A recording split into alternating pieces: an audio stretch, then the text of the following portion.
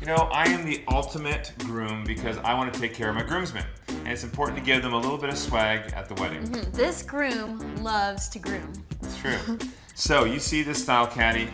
It looks pretty professional. Mm-hmm. You can buy it just like it is here. It might cost you 10, 20 bucks, but if you want to save that money, you can actually make this. And then you can personalize it by wood burning onto the wood, because we love wood burning.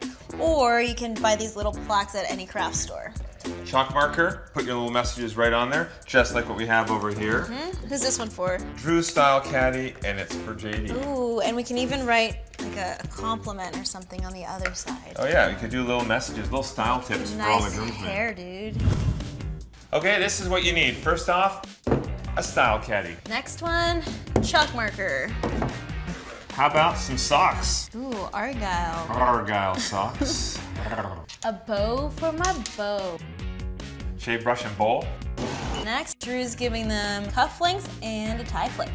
Well, we also do need a little bit of beer, but since I don't want to put alcohol in here, we're doing ginger beer. Linda's probably gonna drink that. Mm-hmm. One last thing, a little bit of construction paper. We could actually run a clock and have this completely finished in 30 seconds. Should we All try right, this? Should we? 30 All right, seconds. start the clock. And go.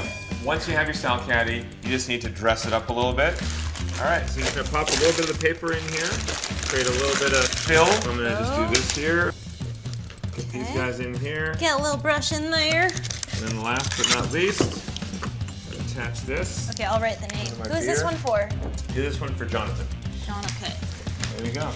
Wait, wait, wait. Look how professional that looks, and we literally got it together in 30 seconds. Yep, I think you should go shower and shave. Perfect. I'll think of a compliment for Jonathan.